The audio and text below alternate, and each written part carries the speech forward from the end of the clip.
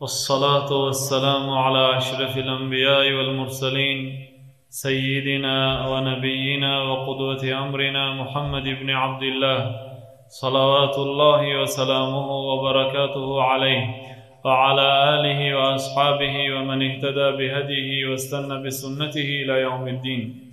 أما بعد إمام بخاری رحمت الله علیه در کتاب بزرگ و عظیمشان در کتاب صحیح بخاری دویمین حدیث را از مادر مؤمنان حضرت عایشه رضی الله عنها روایت کردند که حضرت عایشه گفتند که حارث رضی الله عنه رسول الله صلی الله علیه وسلم را سوال کرد. پرسید که یا رسول الله کیف یأتیک الوحی؟ برای شما چه خیلی وحی می آید؟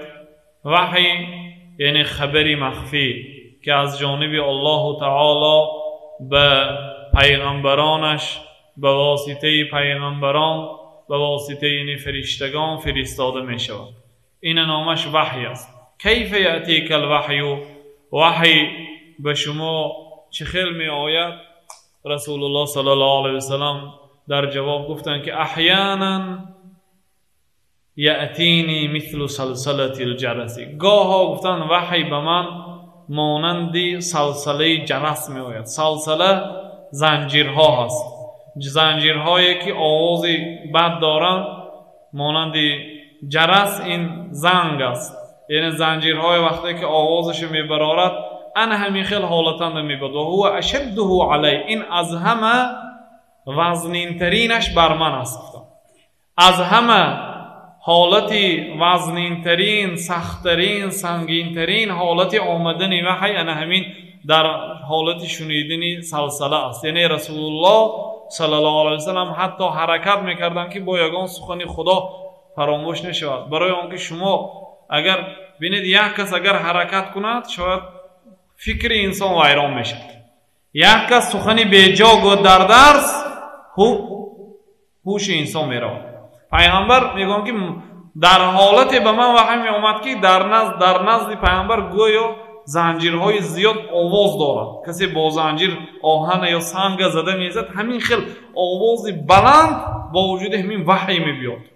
Эҳтимоли нашунида мондани ягон сухан ҳаст бениҳоят ана ҳамин ҳолат барои ман вазнин буд мегӯ در دیگر حالت ها مانندی غنبرخانه وقتی که غواص می‌کند آواز می‌برد کدوی و صو کدوی و نحلی گفتن مانندی آواز غنبر گوی میآید با گاه ها گفتن هر خیلی حالت ها نمی بعضی ها شش حالت ذکر کرده در این حدیث رسول الله به سوال این صحابه دو نمود آمدن وحی ذکر کرده از همه قینترینش و از همه آسانترینش از همه وزنینترینش این همون حالتی که مانند آواز زنجیر овоз бароварда мешавад ва дар ана ҳамин ҳолат барои ман ваҳӣ меояд. Бисёр ҳолати вазнинӣ. Дуюм ҳолат фаришта дар сурати мард меояд чӣ хеле ки бисёр ҳадисонда дар сурати аъробӣ. Ҳадисе ки имом муслим ривоят карданд ҷибрил дар сурати як марде ки бодиянишин аст либосҳои сафед мӯяҳош сиёҳ تازه آزاده به نزد رسول الله صلی الله علیه وسلم آمد در صورت مرد. حتی صحابه ها گفتن که این مسافر گوییم مسافر نیست. برای آنکه مسافرهای زمان قدیم پوری خاک و چنگ و چرک بوده اگر مقیم گوییم هیچ کس نمی‌شناسد اینه بیگانه است. مقیم گوییم مقیم نه. مسافر گوییم مسافر نه. تعجب کنیم که پیامبر بعد رفتنش این جبریل گفت. یعنی در صورت مرد آمد. و در سوره دحیه کلبی می اومد به نزد رسول. یکی از صحابه پیامبر مدینگی. در صورت همین می اومد. یعنی آدم ها گمان می‌کنن که دحیه کلبی به نزد پیامبر آمد. لیکن به صورت آدم شده آمده پیغمبر به وحی می‌گفت اگر در صورت فرشته بیاید میترسن مردم. شاید وفات هم کنن. پیغمبر حالا میبیاد در جبریل وقتی که در حالت خودش دیدن چه خیلی ترسیدن. دو مراتبه جبریل در صورت خلقیتی که خدا جبریل خلق کرده همون حالت دیدن. دو مراتبه یک مراتبه در بعدی پیغمبر شویشان یک مراتبه در اسرای و معراج در نزد پروردگار عند سدرت المنتها در نزد درختی که مخلوقات تا همونجا رفته می‌تواند. از آن بالا نمی‌تواند برند تا همونجا می‌برند انا همونجا جبریل مراتبه دویم رسول الله صلی الله علیه و در صورتی که خدا آفری در همون صورت دیدن پیغمبر وقتی که در نزد مردم می‌شدن فرشته ها در صورت انسان به نزدشان می در این دو صورت ذکر کرد یک صورت یعنی فرشته می بیاد گفتن آوازهای زنجیر می براد و در همین حالت می شنوم به یک عذاب می شنوم همین که از من کنده شد یعنی فرشته از نزد من رفت و پر را می فهمم یعنی با دقت عذاب کشیده گوش می کردم دویم حالت در صورت مرد آمده به من سخن می‌گفت میفهمیدم سخنش حضرت عایشه اکن نقل می‌کنن دوامش سخن عایشه میگن که به رسول الله صلی الله علیه وسلم در روزی خنوکی سخت وحی می آمد خنوکی سخت وحی می آمد و این جبینه لیتفسد عرقا و پیشانه پیغمبر صلی الله علیه وسلم وقتی که انسان رگش می‌برید برای فساد خونگیری چه خیلی خون میبرامده باشد عرق ان همین خیلی پیشانی پیغمبر در روزی خنوک میبرامد وحی وزنین است. وحی آسان نیست. بنابراین بینید. یک بسم الله الرحمن الرحیم. درست قرائت کرده نمی‌توانیم. قرائت قرآن. خدا میگه و رتل القرآن ترتیلا. قرآن با تجویدش خوانید. حال قرائت قرآن با تجوید خوانده نمی‌تونیم لیکن از دیگر اهل علم عیب میوید الله تعالی این امر کرد. واجب است قرآن با قرائت با تجوید قرائت کرده بنابراین در سوره مزمل هم گفت که این سنلقی علیک قولا ثقیلا. ما برای تو پیغمبر سخنی وزنین بار می‌کنیم. سخنی وزنین قرآن این برداشت کردنش قین.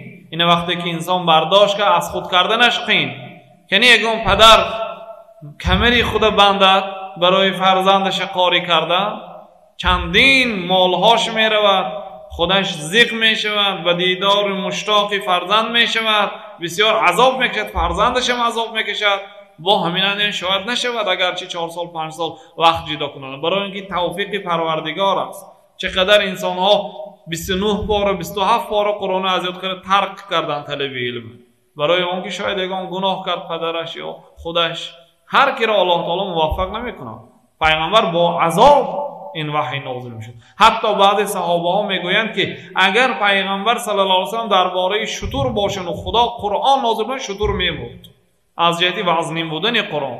یک صحابه می‌گوید روز پای من در زیری پای رسول الله بود. یعنی چارزانو کرده همراه نشسته بودیم. کم در پای پیغمبر در بالای پای من بود که ناگاه با پیغمبر وحی آمد. قریب بود که پای من میده میده می‌شد. حقیقت وزنین است.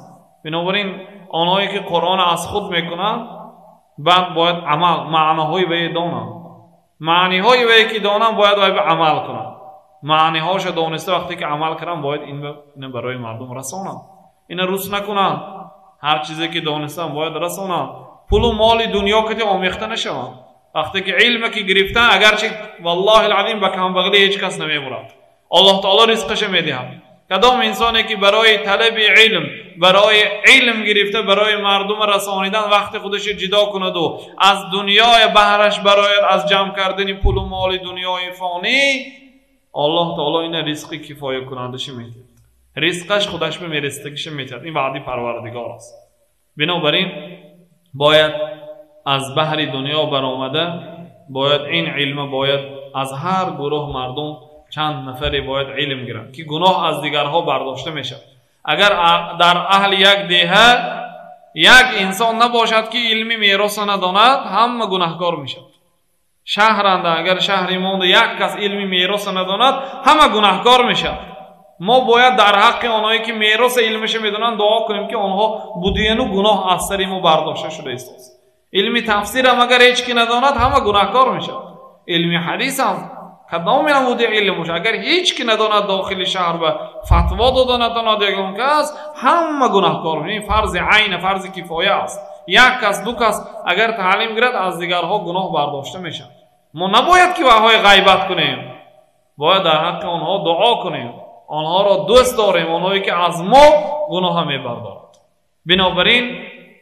همه نمود علم تعلیم گرفتنش زیر قرآن کریم است برای آنکه یگان سخنی که می‌گوید در عالم کدام سخن یافتن بید خواه سخنی بد است خواه سخنی نیک است چیزی که نیاوید یگان مسئله شما صحبت کنید انا همون زیر یگان آیت میدارد یا آیت همون انکار می‌کند یا آیت همون اقرار می‌کند همه چیز зери қуръони карим аст. Китобҳое ки дар мактаб хонед дар донишкадаҳои донишгоҳҳо хондед ҳами ба ям зери ягон оятро медаранд ё мухолифи оят аст ё иқрор мекунад оят ҳамуна ё оят ҳамуна инкор мекунад. Ҳамаи зери як оят ба дароварда зери сухани худованди бузург ва шарҳу маънӣ гуфтан мумкин аст. Бинобар ин қуръон вазнин аст. قرآن همه چیز در بر گرفت چیزایی که پیش از عالم بعد عالم دنیا بعد دنیا پیش از دنیا همه چیز این قرآن کریم در بر گرفت بنابراین پیغمبر صلی الله علیه عرق می‌کردن حالا که یک آیت می اومد شاید یا دو آیت می اومد پیغمبر عرق می‌کرد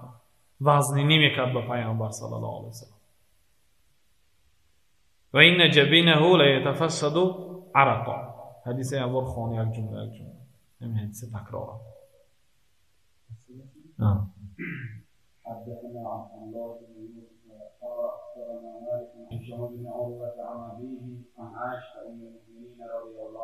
این پنج نفر آنهایی که بین پیغمبر پیغمبر صلی الله علیه وسلم و بین حضرت امام بخاری.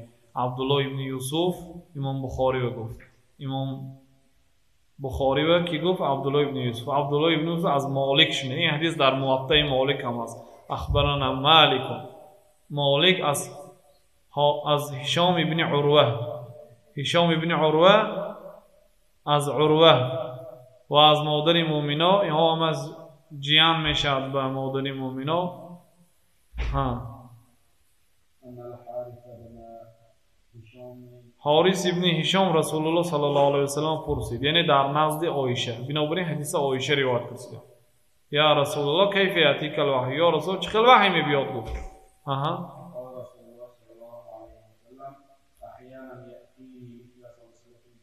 گاه ها گفتند وحی به من مانند آواز زنجیر می بیاد همین خیلی همراهش آواز می بیاد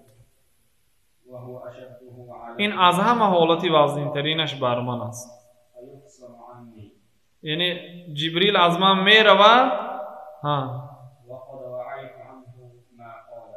قریب پر سخنش فهمیدم که سانه از من کنده شده می رود سخن فهمیدم بعد از من جدا شده می رود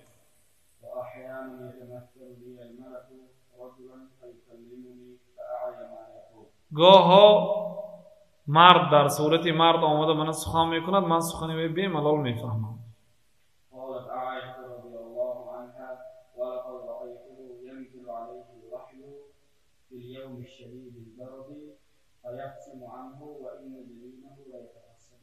فهمم حضرت عایشه تعلیق کرده میگن که در حقیقت من رسول الله صلی الله علیه وسلم در روز خنوکی سخت دیدم که به پیغمبر وحی نازل می‌شد و از پیشانه رسول الله صلی الله علیه وسلم عرق مانند خون میبرامد. خونی که رگی که بریده می‌شد و خون چخل با فواره زده می‌برد عرق همیشه میبرامد. پیغمبر صلی الله